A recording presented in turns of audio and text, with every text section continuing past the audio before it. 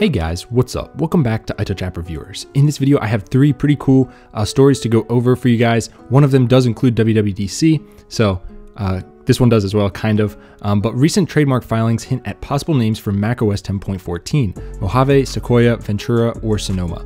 So uh, if we scroll down, you can see in this image right here, uh, these are the different trademark applications that Apple has filed. Now we don't know if it's Apple, but we're pretty sure it is uh, as a shell company. Uh, basically what they do is they make separate companies that aren't under the name of Apple. So Balboa Apps LLC. So they make this company, this LLC, and then they buy these names so that people don't know it's Apple, but okay, look, we all are pretty sure that this is Apple. So um, these are some of the names that they've got now. Mojave, Sequoia, Sonoma, and Ventura.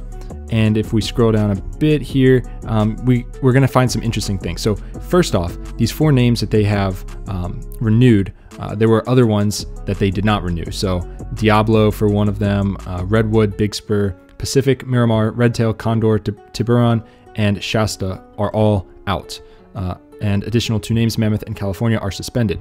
So that means those are not going to be the names. So we're pretty sure, actually, at this point, I'm pretty sure. I think that it's going to be Mojave for the next one. We'll have to see about that. It is a California landmark name, but it's not in the uh, mountain ranges like the other ones have been. Now these are being trademarked uh, in Cambodia and the Philippines, which is kind of odd that they're just in those places, but uh, yeah, that's that. So I thought that was interesting. Let me know down below what you guys think it'll be named. Uh, I'm going with Mojave just because it was actually trademarked in two different places. Uh, the rest were only filed in one place, so um, I don't know. We'll have to see. It's interesting uh, nonetheless. Next up, Apple sh shares its latest transparency report outlining government data requests from July 1st to December 31st, 2017. So this is for the second half of last year, and uh, worldwide, Apple received a total of 29,000 requests covering 309 devices and provided data 79% of the time, so 23,000 cases. But in the United States alone, Apple received 4,450 requests for 15,000 devices and provided data 80% of the time. So um, I guess it's not terrible, but these are usually um, when law enforcement comes up with uh, subpoenas, court orders, search warrants, pen registers, trap and trace orders, or wiretap orders. So uh, the big takeaway here is uh, don't keep your stuff in iCloud. That's really the main spot that the government goes for.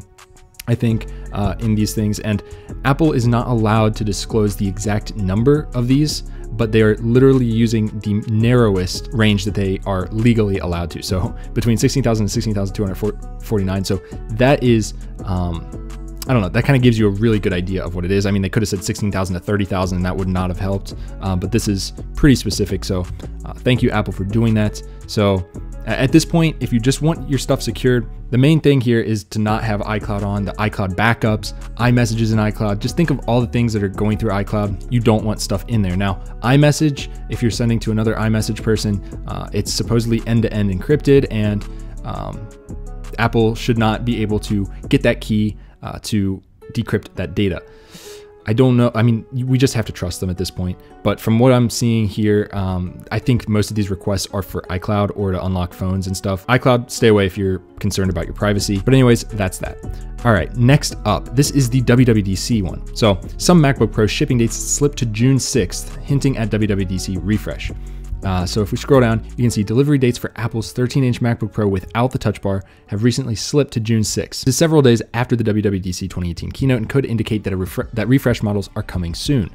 Spotted by Mac Observer, the 13-inch MacBook Pro with Touch Bar and 15-inch models are still shipping in as fast as one day. However, we could see those shipping times follow suit. Since they haven't actually followed suit yet, that could be a little concerning to some people because there have been rumors uh, that the lower end one, the one without the Touch Bar, could just get um, I don't know, not renewed, basically get gotten rid of. So we'll have to see, and these ones might get refreshed later. But if these start to slip as well with their dates, I'll monitor it over the next few days. But if these start slipping as well, we can almost be sure that at WWDC we will see new MacBook Pros. So I'm super excited about it, and uh, obviously we'll have to see what Apple does in coming weeks. But hopefully they fix the butterfly keyboard and because that's actually opened up two class action lawsuits right now and probably more in the future. We also saw Intel's release of the 6-core i9 chipset that could possibly be used in the 15-inch MacBook Pro. If the price isn't crazy, I'm getting that one because that is going to be a beast. And you might even get a quad core in the 13-inch.